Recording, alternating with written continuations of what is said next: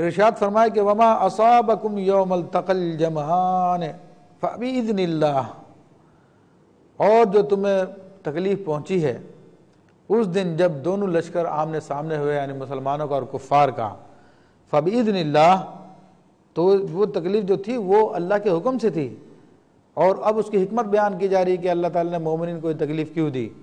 وَلِيَعْلَمَ الْمُؤْمِنِينَ تاکہ اللہ تبارک و تعالیٰ مومنین کو ممتاز کر دے، مومنین کی پہچان کرا دے کہ کون مومن ہے۔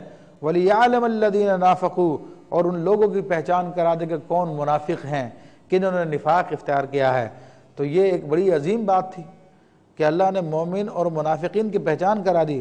وقیل لهم تعالوا قاتلوا فی سبیل اللہ او ادفعوا۔ ان منافقین سے جب کہا گیا کہ آ جاؤ، اللہ کی راہ میں قتال کرو، جہاد کرو یا کم سے کم مدینہ منورہ میں تمہارے بیوی بچے دیگر رشتہ دار مسلمان ہیں، ان کی حفاظت کے لیے کھڑے ہو جاؤ، کفار کو بھگاؤ یہاں سے۔ قالوا لو نعلم قتالا لاتبعناکم۔ وہ کہ انہوں نے کہا کہ ہمیں پتا ہوتا کہ واقعی یہ جنگ ہو جائے گی، تو ہم بھی تمہاری پیروی کرتے ہم بھی تمہارے ساتھ مل کے جنگ کرتے یہ منافقین کا پرانا طریقہ تھا کہ جب وہ حق بات سے پھر جاتے تھے، پھر طرح طرح کے بہانے بازیاں کرتے تھے۔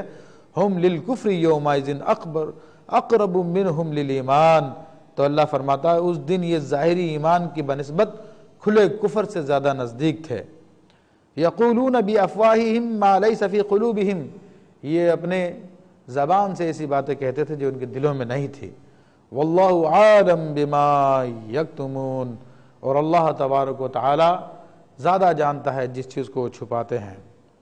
تو انشاءاللہ تبارک و تعالی یہ سلسلہ جاری ہے۔ انہیں منافقین کے حوالے سے یہ کلام جاری ہے۔ انشاءاللہ مزید گفتگو ہم اگلے درس میں کریں گے۔ وآخر دعوانا عن الحمد للہ رب العالمین۔